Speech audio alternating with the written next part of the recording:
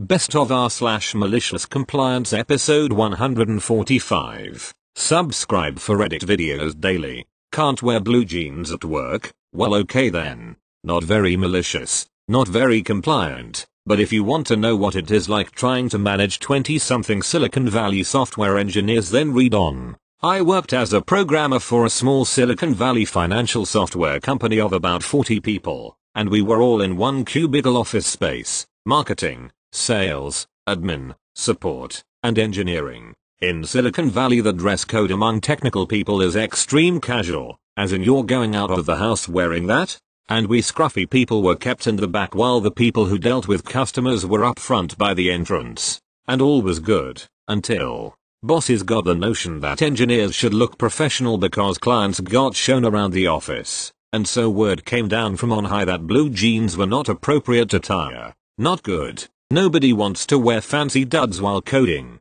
This was about the time Levi's started to sell jeans in other colors. Blue denim wasn't the only choice. You could get gray or black. Exact same comfy jeans, just a different color. So we switched to gray slash black jeans. No more blue jeans, just as required. And that worked. For a while. Then the message from management, with IRL, was okay, guys, no jeans of any color. And so we all ignored it and business went on. And in my time as a software engineer it wasn't the last time silly edicts from on high got ignored, but it was the only time there was any effort made at compliance. Thank you. Next. Oh, you want me to keep my lawn constantly maintained okay. Reminded of this little gem after reading this post. https slash slash www reddit com slash r slash revenge slash comments slash hlhbx9 slash neighbor didn't like how I did my own lawn slash.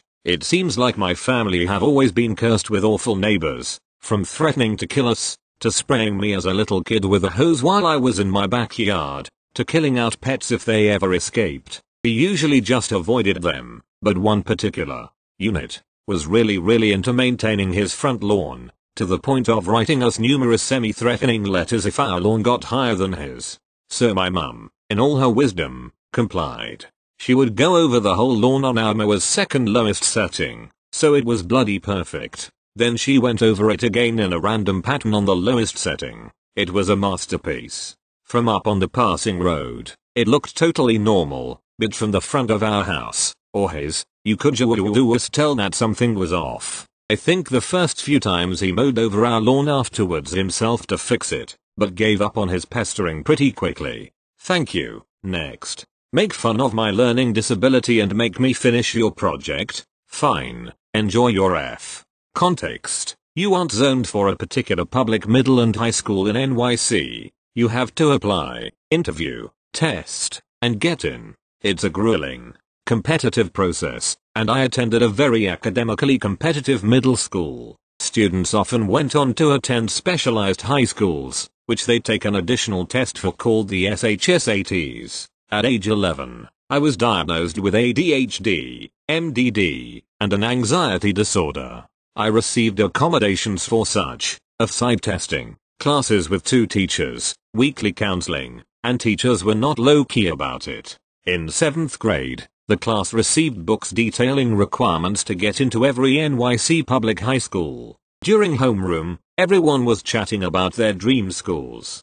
Kid sitting across from me, let's call him A, asked me what my first choice was. I told him it was art and design high school, and he started laughing hysterically. I asked A what was so funny, and he pointed to the math requirement. You needed a 91% in math to get in. I was already crushed, but A continued saying her the math teacher and I talking about my 61% a week ago. The kid sitting adjacent from me, B, erupted into laughter as I ran out of class in a fit of anger. The next week, A, B, and I were placed in a group project for English.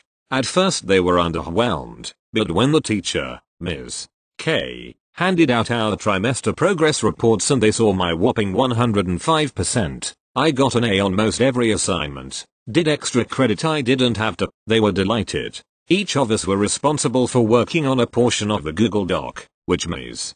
K would be checking to make sure we did our part. I finished my portion in a single class period, while A and B struggled to get past their first questions. That's when A spoke up and said OP, since you're not studying for the SHSATs like us, why don't you do our parts? B agreed, but then said IDKA, she is a watard, so don't expect a good grade. I grinned and pulled out my progress report, okay, tell that to my 105%. Each of them offered me $10 which I gladly accepted, and told them to hand over their email passwords so I could log into the doc as them. I did a horrible job on their portions of the project, and asked them to proofread it. They said no, because they were far too busy with the SHSATs. A and B were stunned when they each received a 50%. This counted for 20% of our final trimester grade, bringing them down from an A to a B. They complained to Ms. K that I sabotaged their projects, so she pulled up the timestamps of them working on the project and scolded them for blaming me. When A and B asked how I got a 96% and they got a 50%, even though I did all their work, I smirked and said, I don't know. After all, I am a watard. Their faces went white, looking absolutely defeated. Thank you. Next. Do you want to teach this class? Okay. Back in middle school, we had a teacher, we'll call him Mr. Teacher, who was kind of a jerk. He was kind of an odd guy who came off as very condescending to students. He also seemed kind of disinterested in teaching in general. One day, during math class, he's generally butchering a lesson on the basics of algebra, literally the introduction to how an equation is formed and balanced. One kid is really struggling and asking a lot of questions.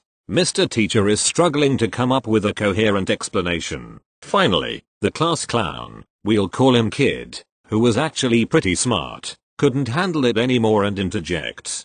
Kid, Mr. Teacher you're explaining this in a really confusing way, it's not as complicated as you're making it out to be. Mr. Teacher, look, do you want to teach this class? Kid, sure. I bet I can explain it better than you are right now. Mr. Teacher, I'd like to see that.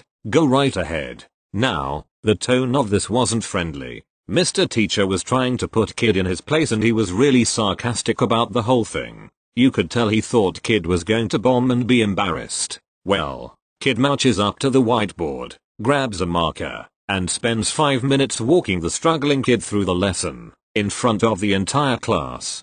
His explanation is clear, it makes sense, and at the end the struggling kid goes oh okay, now I finally get it, thanks. Mr. Teacher is pretty sour about this turn of events and picks up on a small detail, detail X, that kid omitted from his explanation. He says, Mr. Teacher, you know kid, you didn't mention anything about detail X. Kid turns around and looks dead in Mr. Teacher's eyes and says, Kid, Mr. Teacher, do you want to teach this class? The class erupts in laughter and clapping and Mr. Teacher looks like he wants to kill kid. Meanwhile it was legit like a movie and the bell rings and class ended. Edit. Fixed acronyms into proper pseudonyms edit 2. Fixed some brackets. Thank you. Next. Lesson learned about productivity. Not sure if this is the right place, but I think so. If not, please point me in the right direction. So I was working for a small mom and pop health food store. Full staff including owner probably only 15. I was hired to do data entry type work. First day and I'm seated next to the only two other people doing this job. We take the online orders and re-enter all the data, from customer info to product purchases, into another program, possibly QuickBooks. I'm given a very small batch of papers to rekey into the other program. The other two people are typing slowly, I mean almost excruciatingly slowly. The manager is in another room so he's not watching us work. Being eager to do a great job I fly through my stack of papers in about 2 hours out of my 8 hour day. I proudly walk into the manager's room and ask for more data to key. He tells me that was my work for the entire day. He tells me I can leave for the day and that I would be getting paid for only the time I worked. Now I got it. Now I realized why the other two worked at the pace they did. I was never told to go home early after that although it pained me to type so slowly and work so far below my potential. Thank you. Next. You want a baby monitor on at all time? You got it. Backstory. For the past three days my fiance has been preparing himself to switch to graveyards. He alternates four days on slash four days off with afternoon shifts and graveyard shifts. We have a 6-mo-old son. When the baby wakes up in the morning, I turn one of the baby monitors we have off and I take the other one downstairs with me so I don't have to come back for it and so it doesn't disturb him when he's trying to sleep. This all happened yesterday. I left the second monitor downstairs accidentally for the baby's afternoon nap and forgot to turn on the first one while I was pumping. My fiance wakes up around this time and is playing on his computer. I realize it's pretty silent so I asked him if he had the baby monitor with him. He gets all snarky saying Naru I just woke up. Why would I have it? He huffs his way to the one we have upstairs and turns it on to realize it's also muted. He goes off on this little rant saying that it should always be on with full volume so this situation doesn't happen again. I just nod and say, yes honey knowing today will be his first graveyard shift. My fiance usually gets home around 7am and instantly goes to bed. That's also just before the baby wakes up. He's a very happy baby and just wakes up talking slash cooing so he's not very noisy to begin with. I walk in and go, hi baby good morning. Did you have a good sleep? And change his diaper the loudest I possibly could all while talking very loudly to him about our plans for today. It's not a very exciting ending but it satisfied the petty side of me this afternoon when he came into the kitchen. He didn't look me in the eye when he told me that we don't really need the baby monitor on upstairs all the time. Thank you. Next. Patient learns karma is a bitch.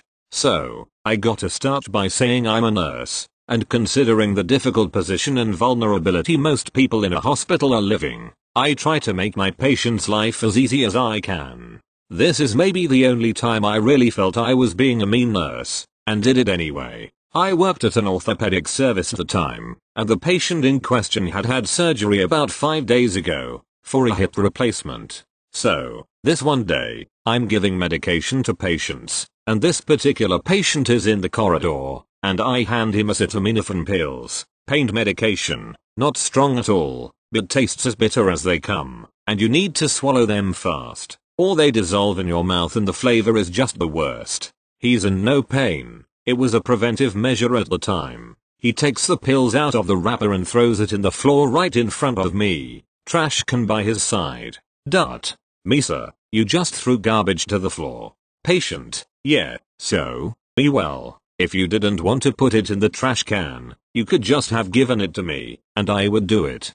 Patient don't sweat it, the maid will get it. And he proceeds to put the pills in his mouth and rolls his wheelchair to his bedroom to get the water. I'm really pissed at this point. I'm not going to let litter stay on an hospital floor, so I pick it up and count to 10. Meanwhile, he gets to his hospital table, that is his 1, 5L water bottle on top. That particular table is not very stable, and it just happens that his wheelchair bumps into it before he can reach the bottle, and the bottle falls to the other side of the table. He can't pass the wheelchair to the other side of the table, and so he is at this point with the pills in his mouth with no way of getting his water. I realize it, and am in no hurry to help. I enter the room to administer medication to another patient that's in his bed. Three other patients in that bedroom. Patient nurse. My water bottle fell to the ground and me, not letting him finish the sentence. Oh. Don't worry, the maid will pick it up and throw it out. And I then quickly proceed to the next patient. Same goes as I'll leave the room, and again as I enter again for the third patient. Patient is by now fuming, his saliva melting the pills, that horrible tastes in his mouth for a while. As I'm leaving for good he tries again to say the full sentence, and this time I'll let him, it wasn't easy, cause he had this paste of melting pills in his mouth. Patient nurse. I let my water bottle fall, and I needed to take my pills. Me I'm so sorry, though you just wanted to throw something out again. I'm so sorry, here you go. And I left, feeling justice had been made.